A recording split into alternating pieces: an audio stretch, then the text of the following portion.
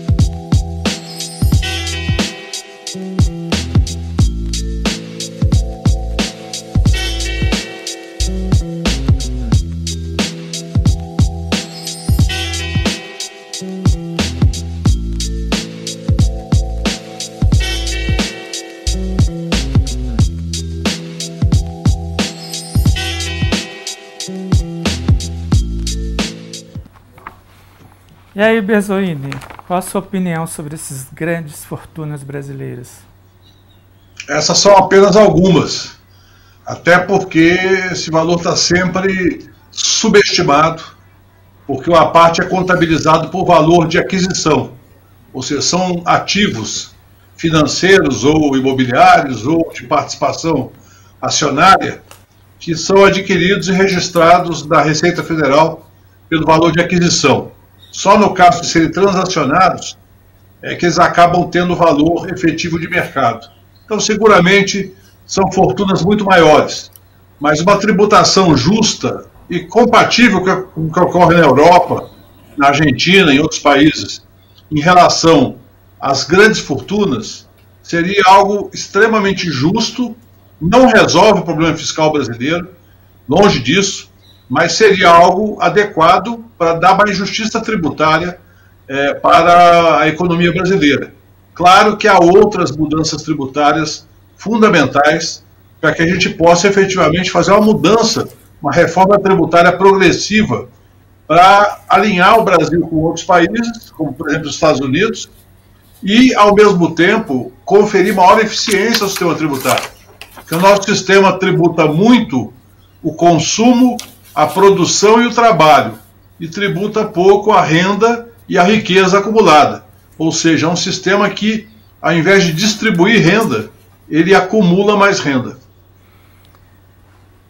Vilmara, você que é de uma categoria de mulheres, né, as professoras, é, e também uma militante da Marcha Mundial de Mulheres, que sempre presente na luta, é, as mulheres são vítimas desse sistema que concentra riqueza em poder de poucos, poucas famílias brasileiras, e mais de 70% do povo brasileiro hoje aí, é, 70 milhões de brasileiros atrás de 600 reais, enquanto os bancos lucram trilhões.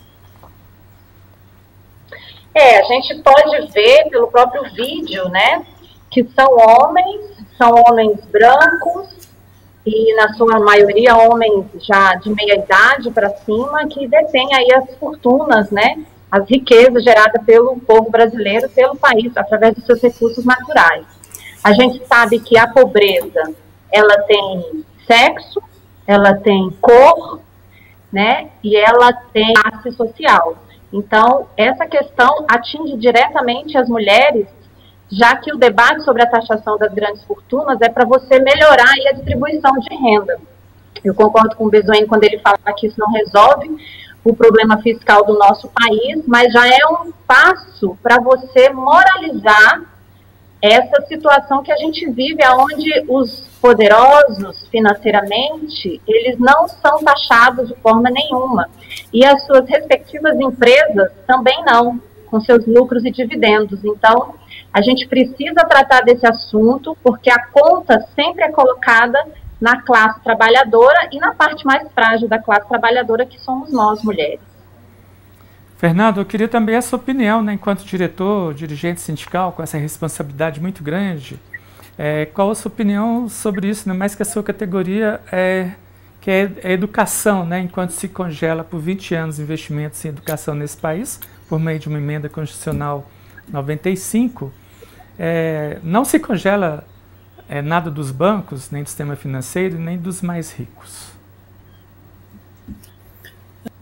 É, Paulo, que talvez esse mundial, inclusive, a partir dessa pandemia, isso é uma tragédia, mas também tem sido uma oportunidade para que a gente possa colocar é, itens, pontos, pautas fundamentais. E aí, quando você fala dessa taxação, a gente, eu queria já é, porque tem a ver com dinheiro, tem a ver com investimento do Estado, aliás, com a ausência do Estado. Talvez esse momento tenha reafirmado a nossa necessidade, talvez mostrar bem claramente que o SUS é sim a alternativa para salvar vidas, talvez a única nesse momento, tá certo? E o investimento público, o, o Estado tem que estar presente, né?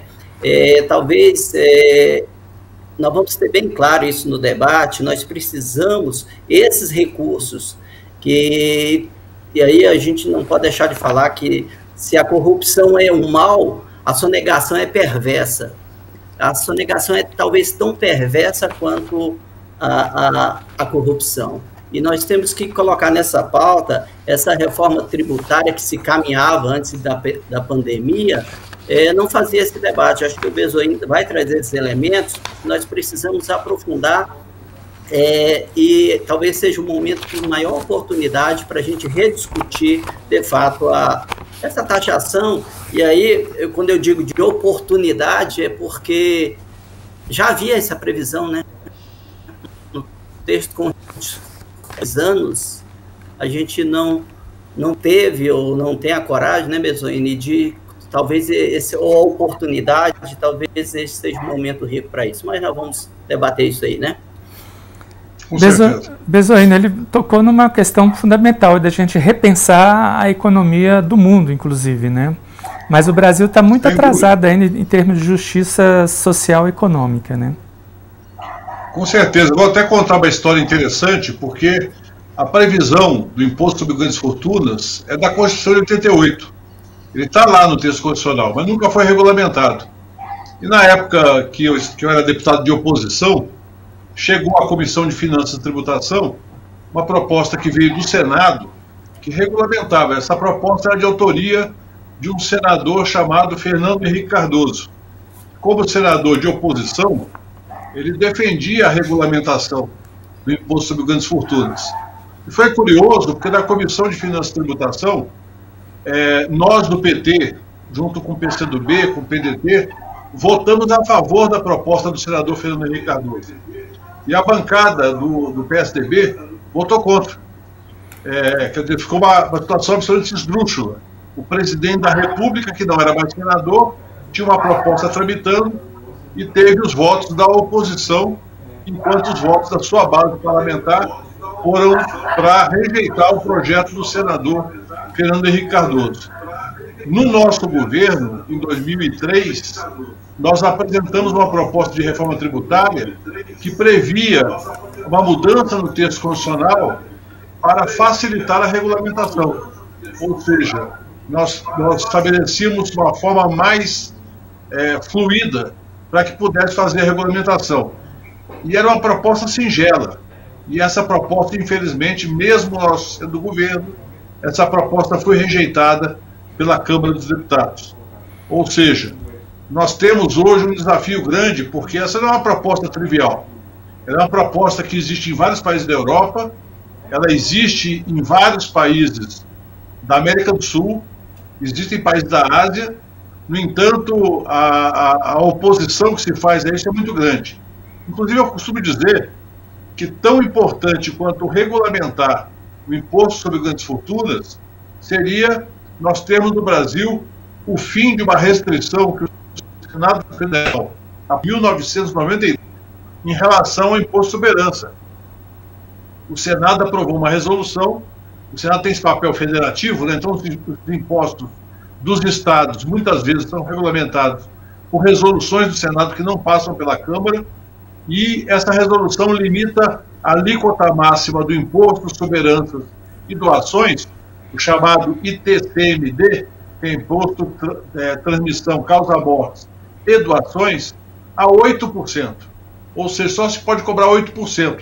Só para ter uma ideia, nos Estados Unidos, as grandes heranças são tributadas em até 40%. Ou seja, quando você faz a transmissão de riqueza de uma geração para outra, ou por morte ou por doação, é fundamental que você não perpetue a riqueza sem causa, a riqueza que é de família. Não é mérito de quem vai receber o dinheiro, mas é mérito da geração anterior.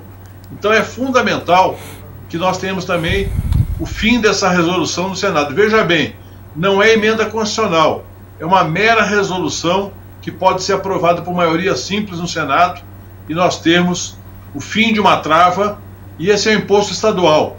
Seria muito bom para o GDF, seria muito bom para todos os estados nessa situação de crise fiscal que nós tivéssemos um imposto sobre heranças e doações sem essa limitação absurda de 8% sobre o total acumulado ao longo de toda uma vida de milionários, latifundiários. Não estamos falando da herança da classe média. Não estamos falando da herança da classe média alta sequer. Estamos falando da herança dos capitalistas, daqueles que têm grandes somas de capital e que transmitem essas heranças, essas pessoas que apareceram aí no, no filme, onde aparecem os grandes bilionários brasileiros, elas quando morrem ou quando fazem uma doação para seus herdeiros, pagam apenas até 8%. E um detalhe, a maioria dos estados não cobra nem 8%, cobra 2%, 3%, 4%, portanto, deixando de tributar uma riqueza que pode ser tributada com até 8%. E se o Senado revogar essa resolução, ela pode ser tributada pela alíquota que cada estado achar justa e adequada. Não precisa ter uma alíquota única para todo o Brasil. Pode ser uma alíquota para cada estado de acordo com a sua situação socioeconômica e a sua necessidade orçamentária.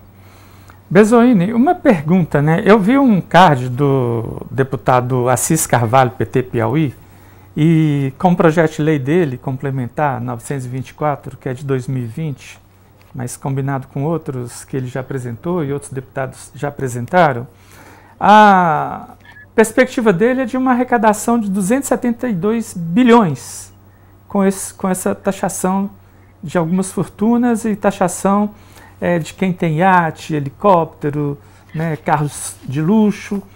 E esse dinheiro serviria bastante hoje para manter a economia brasileira, salvar empresas brasileiras.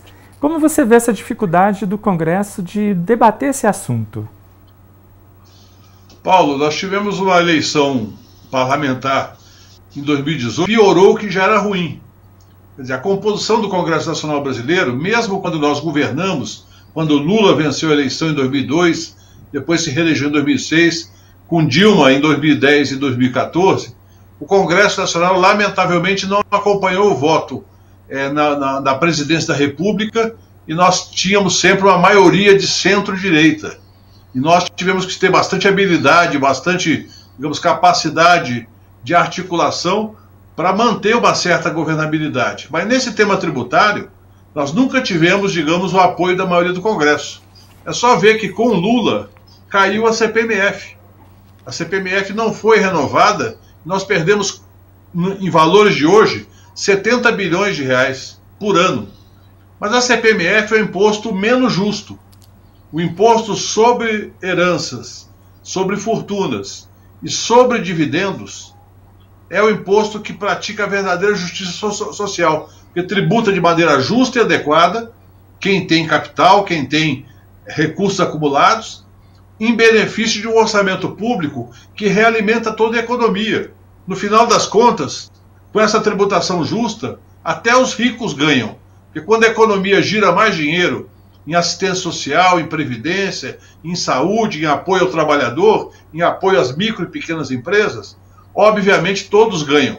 Claro que nós queremos que quem ganhe mais seja o trabalhador, seja o excluído, seja aqueles que precisam efetivamente do apoio da sociedade.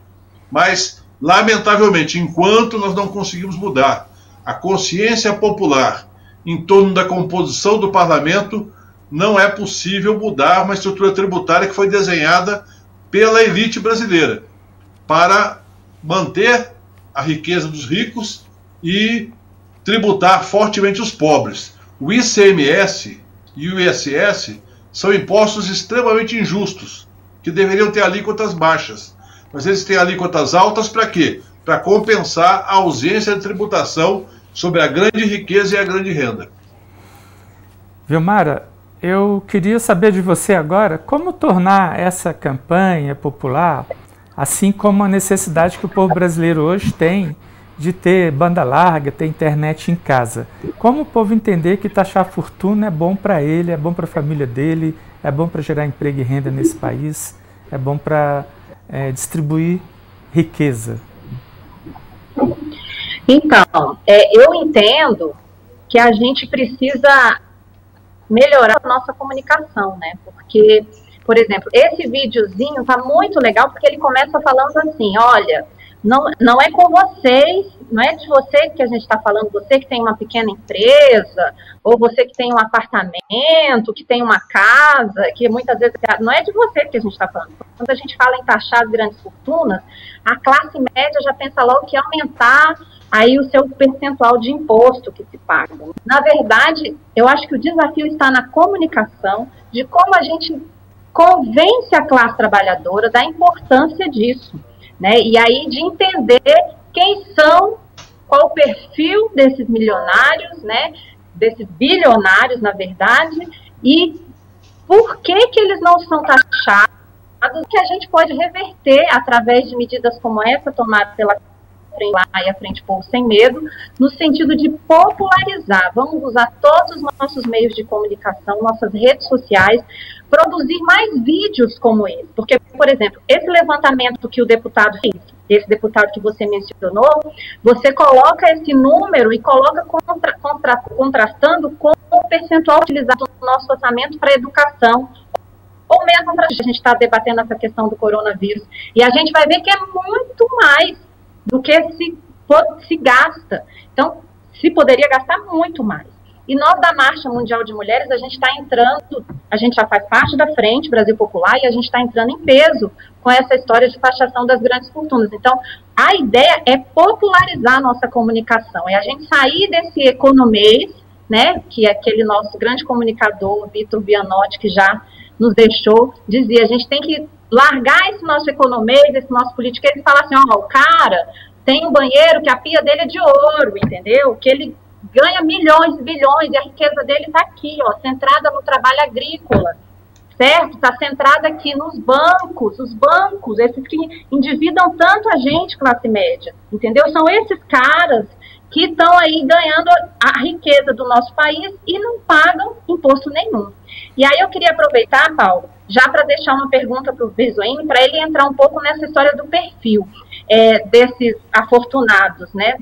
Eles estão concentrados em algum setor específico, são mais banqueiros, mais essa galera aí da, do agrobusiness. Eu queria deixar um pouco essa reflexão para a gente já começar essa nossa comunicação mais popular. Então, Bezoina, a bola de volta com você, porque o número que eu vi, assim, zero, se taxar 0,3% do povo brasileiro, 0,3%, quer dizer, uma minoria absoluta é, daria para sustentar 100 milhões de brasileiros.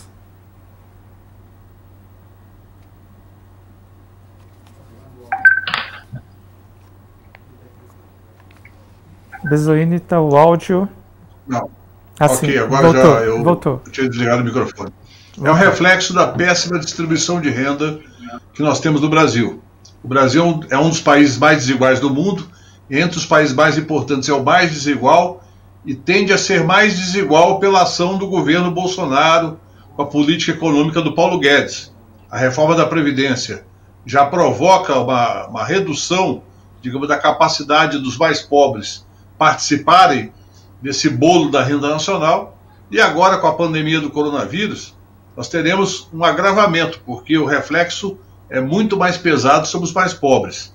Então, se você faz uma tributação é, justa, equilibrada de uma pequena minoria a, através do, do processo que nós temos de tributação sobre a, o patrimônio e sobre os dividendos, nós podemos efetivamente é, arrecadar um volume de recursos suficiente para fazer obra de infraestrutura, para melhorar a saúde, a educação e para é, combater os efeitos econômicos dessa pandemia que assola todo o planeta. Os países mais desenvolvidos estão estimando gastar entre 20% a 25% do PIB com é, ações anticíclicas, ou seja, na contramão da recessão, para que nós possamos retomar o crescimento da economia e, com isso, gerar os empregos que, são, que estão sendo perdidos agora com essa crise, com a necessidade de isolamento social.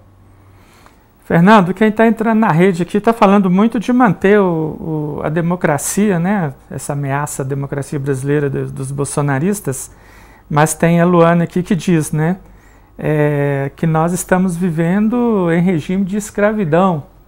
É isso? Como é isso? Como combater isso?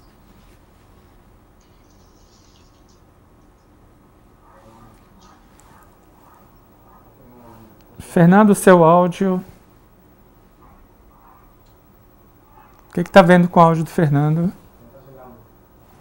Fernando, dá uma olhadinha no seu áudio.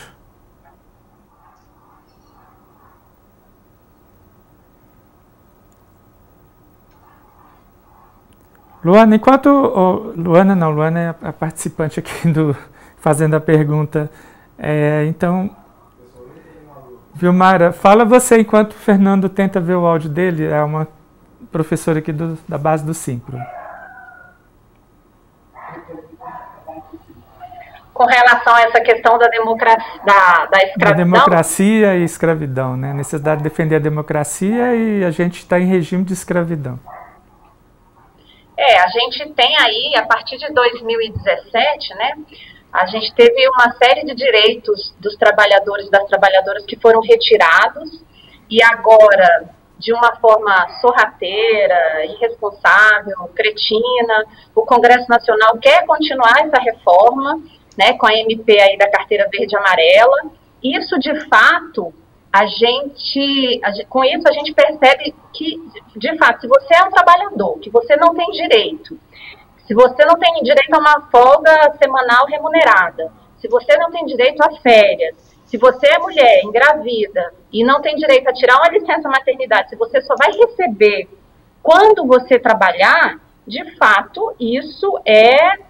E aí, de, e aí, dependendo de quanto você recebe, a exemplo desses entregadores, né, por aplicativos, Rappi, iFood, etc e tal, é de fato uma analogia muito importante essa que a Luana faz aí com relação à escravidão, né? As pessoas estão trabalhando nessas condições extremamente precárias e se acontecer alguma coisa com a saúde delas, elas não trabalham, elas também não vão receber, e aí elas se veem forçadas a trabalhar e a se assujeitar a esse tipo de contrato de trabalho, que é extremamente perverso, né, que não garante nenhum direito.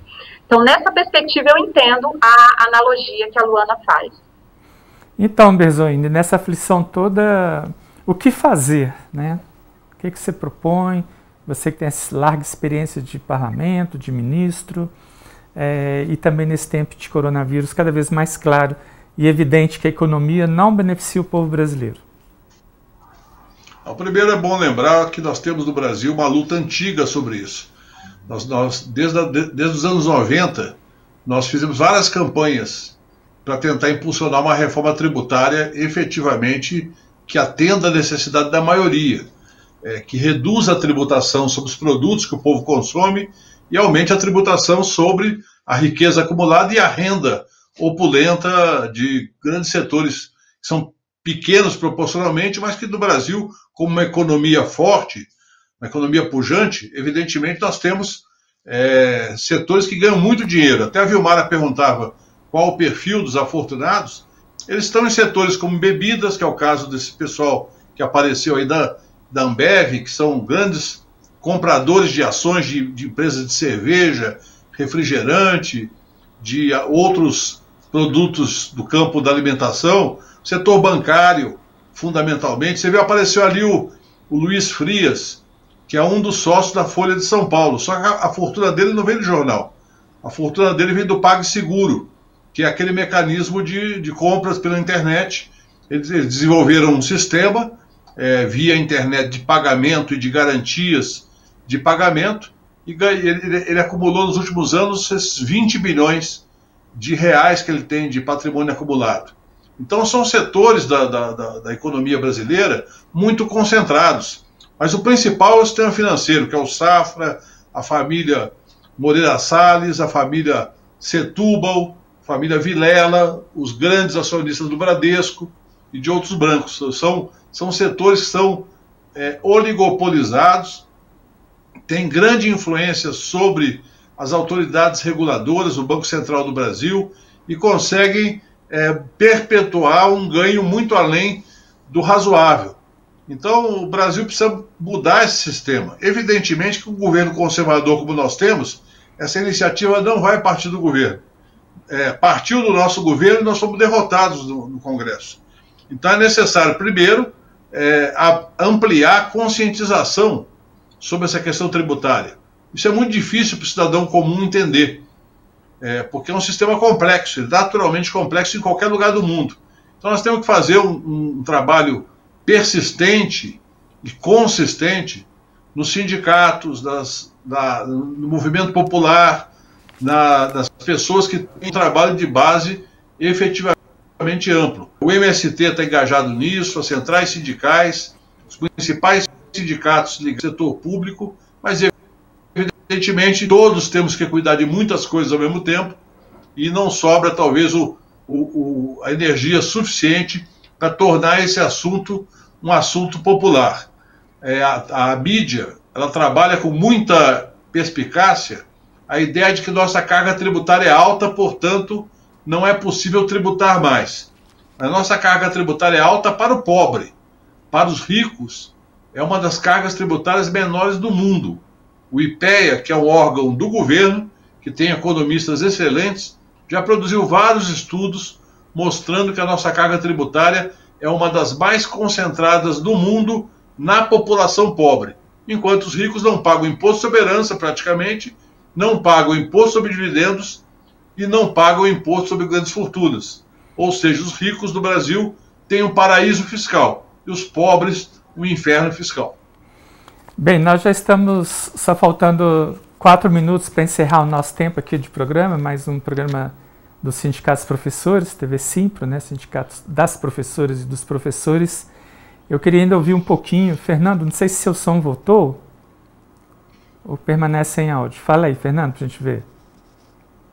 Ah, continua sem áudio. Vilmara, então, é, como que você vê a importância do, do, sindicato propor esse debate público junto à sociedade aqui por meio da TV comunitária? Nossa, eu acho muito importante por quê? Porque nós temos aí uma categoria de 40, cerca de 40 mil professoras, professores da, da orientação educacional e atingimos diariamente, né, fora desse contexto de, de pandemia, por óbvio, quase 500 mil estudantes, né, da, que vai da educação infantil até o ensino médio e passando aí pela EJA, Educação de Jovens e Adultos. Então, a gente tem condições de potencializar essa comunicação popular e de mostrar para os nossos estudantes, que é a comunidade escolar e os seus pais e as suas mães, o que, que significa essa taxação sobre as grandes fortunas, o que, que significa essa reforma no sistema tributário aí que o Ricardo falou tão bem. Né? Então, a gente tem muitas condições de fazer isso, de popularizar, porque nós vamos às quase 700 escolas do Distrito Federal, a gente conversa com a categoria, então a gente está com a faca e o queijo na mão para fazer essa disputa aí de narrativa com o poder econômico aí vigente no nosso país. Eu queria, só para terminar, fazer uma, mais uma pergunta para o Perdoim, só que eu acho que ele não vai escutar, que é o que, que, ele acha, né, já que a gente conclui aqui que um dos grandes setores privilegiados das riquezas são, é o setor financeiro, o que, que ele achou dessa iniciativa aí do governo Bolsonaro de, de garantir na crise mais de um trilhão de, de reais para acudir os bancários, os banqueiros, quer dizer, não é os bancários, né? Por... É. Então, Bezoini, nesse país rentista, ao invés de um Estado desenvolvimentista. Saiu.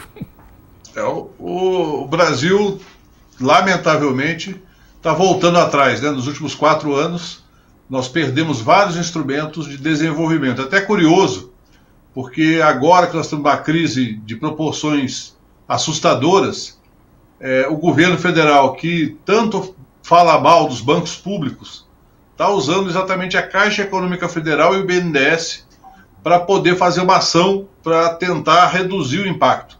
É uma ação insuficiente, mas ele usa a Caixa e o BNDES porque são instrumentos efetivamente de governo. Pode usar também o Banco do Brasil, o Banco do Nordeste, pode usar mais a Petrobras, para que nós possamos efetivamente entender que não há contraposição entre o setor público e o setor privado. Ambos têm um papel importante. E a política desenvolvimentista significa você buscar, primeiro, incentivar atividades econômicas que gerem riqueza e gerem emprego, e, portanto, geram tributos, e, ao mesmo tempo, você criar condições de políticas sociais, como Minha Casa Minha Vida, como Bolsa Família, como SAMU, a Farmácia Popular, e tantos outros programas que foram criados no governo Lula e no governo Dilma, que conseguiram estabelecer o binômio. Proteção social, desenvolvimento econômico, que é a melhor coisa para um país sair da pobreza e incluir os excluídos. Então, esse é o grande desafio. A questão tributária é uma das dimensões. A questão fundamental para nós é criar uma estratégia econômica nacional e regional capaz de, de tirar da pobreza essas pessoas que saíram da pobreza no governo Lula e Dilma e que estão voltando para a pobreza por conta da política dos governos Temer e Bolsonaro e que agora vão ficar ainda mais expostos por, por conta da pandemia que lamentavelmente cobra a fatura mais pesada dos mais pobres, tanto na saúde quanto na sua situação financeira. Os mais pobres vão morrer mais, vão ficar com maiores sequelas e vão ficar mais pobres, se não houver uma mobilização social para emparedar o governo e mostrar que eles têm que fazer uma política de acordo com o que está na Constituição, buscando construir uma sociedade de inclusão social e não de exclusão social. Vilmar, eu queria um minuto seu aí para seu último recado para a sociedade, para os professoras e professores que estão em casa no confinamento e nos assistindo. Então, é, queria me despedir, agradecer aí pela presença do Ricardo Bezoin, foi muito importante que a gente possa fazer outros debates como esse. E vamos nos conscientizar, né, categoria, confinadinhas e confinadinhos aí. Nós não estamos, nós não somos os afortunados e afortunadas do nosso país, nós temos que ter essa leitura de classe. É só a gente olhar o tamanho das nossas casas, dos nossos apartamentos, e a gente pensar que esses afortunados e afortunadas estão isolados agora em verdadeiras ilhas, né? É onde eles moram, é onde eles vivem, e as nossas custas, as custas de uma história de exploração aí secular do nosso país. Então, vamos todas e todos nos engajar nessa campanha de taxar as grandes fortunas. Um beijo, um abraço aí para todas e todos. E vamos seguir ficando em casa, ficando vivas e vivos para a gente sair dessa. Fernando, eu queria muito te ouvir, mas eu não sei se a gente já consegue te ouvir, né, sobre uma outra economia possível nesse um minutinho final. É possível? Ainda não, né? Tá, estamos sem som com o Fernando, mas uma próxima vez, Fernando, você vai falar bastante aqui. Te dá 30 minutos Ele de programação. Ele escreveu toda a vida importa, Paulo. Ah, é porque eu não consegui ver que eu estou longe do meu monitor. É, Muito obrigado, viu, Mário? Toda a vida importa. Toda a vida importa, isso. Uma outra economia isso. possível. Bezoini, então, sua palavra final. Uma outra economia então, eu possível. Não ouvi, eu não ouvi bem a Vilmara, tem um problema de áudio que, que aparentemente isso foi só comigo aqui, que vocês ah, estão sim. ouvindo a Vilmara. Mas quero agradecer a Vilmara, o Fernando, agradecer a você e a, a direção do Simpro como um todo por esse, por esse convite. Estou à disposição para debater esse tema da tributação, que eu acho um tema muito relevante e que precisa fazer parte da pauta do país. Nós precisamos mudar a história tributária do Brasil e, com certeza, faz parte desse processo a mobilização para que nós possamos combater toda forma de autoritarismo. A democracia brasileira está em risco, o Estado democrático de direito está arranhado desde o golpe de 2016 e nós queremos restabelecer a democracia em nosso país. Isso, evidentemente, só com um presidente que respeite a Constituição, o que não é o caso do atual presidente da República que não respeita a saúde do povo e não respeita a Constituição do Brasil. Muito obrigado, Vilmara, muito obrigado, Fernando, muito obrigado, Bezoini.